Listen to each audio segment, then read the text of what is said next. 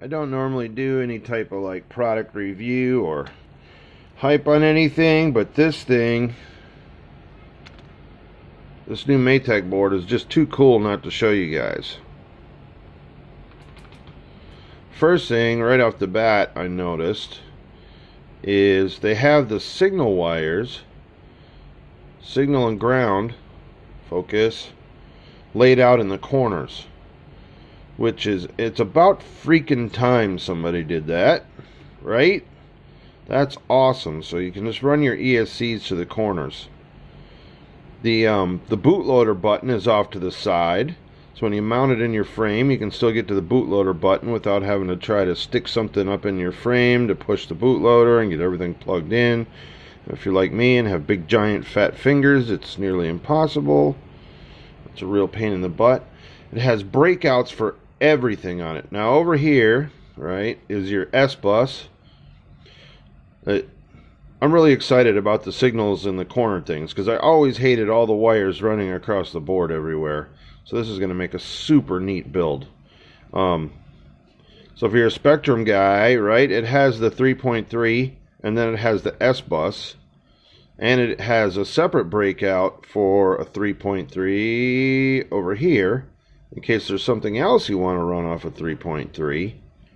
Um, it's the Betaflight OSD, an F4 board, uh, and it has breakouts for absolutely everything. Your camera, your VTX, whatever voltage you're running, you can run full voltage to like a uh, uh, Unify um, HV, um, or the 5 volt. It has it has 5 volt outs for the VTX, VTX ground. Here's your cam with a 5 volt out.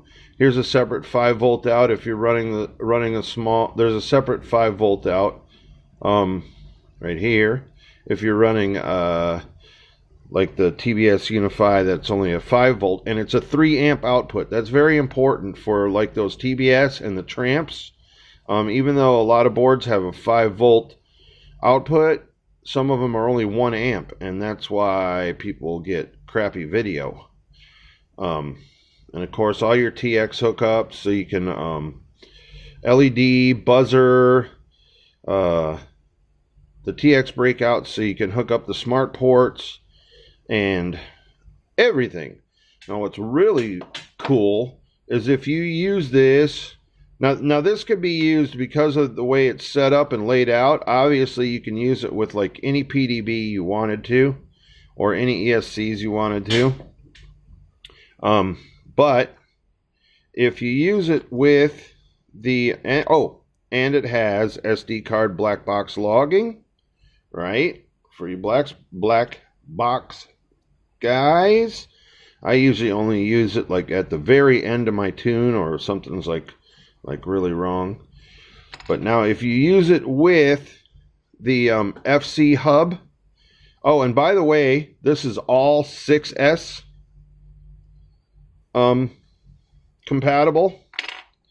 If you use it with the FC hub, right, you can solder your ESCs with the signal wire there. And check this out. It comes with a ribbon cable. So all you're going to do is mount up this PDB and ribbon cable it to the board.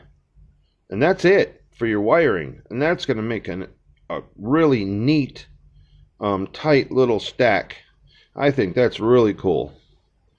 Um, the PDB can also be used separately with any board you want, which is awesome. It has breakouts for everything on it 5 volt, VCC, 3 volt, cam, the, the whole nine yards.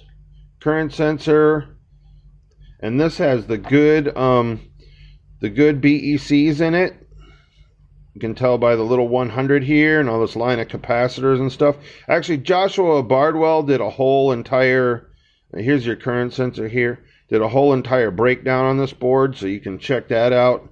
I'm not going to get into the the super tech aspects of it, but this can be used separately. But if mated with with this board, all you have to do is hook up your ESCs and the ribbon cable. And that's it. You're good to go. Not wires everywhere. And if you use this separately, like I said, the, the signal ground wires for your ESCs are broke out in the corners. So it also is going to make a very neat um, build. So I'm pretty excited about um, getting this thing going and mounting it up. Um, and it comes with the rubber soft mount standoffs. Um, come in the package with the flight controller. So um, yeah, I think that's pretty cool. The uh, of course the um, the PDB comes with mounting hardware too, but the the FC comes with the rubber mounts. So anyway, there's your little rib ribbon cable connectors. Just pop the ribbon cable in there, and that's it. Got a nice, neat little stack. So, oh, and by the way, if you go to the um, Matek FC F405, uh, just Google it. They have a whole entire web page dedicated to this board. It has every layout, every pinout, how to hook up everything, uh, whatever you're using, S Bus, um, whatever VTX you're using. It shows how to hook up everything traditionally with silicone wiring everything together or with the ribbon cable. It has it has it all on that page, everything you could possibly think of. So I don't know. Has Matek made the perfect flight controller? I don't know. We'll see.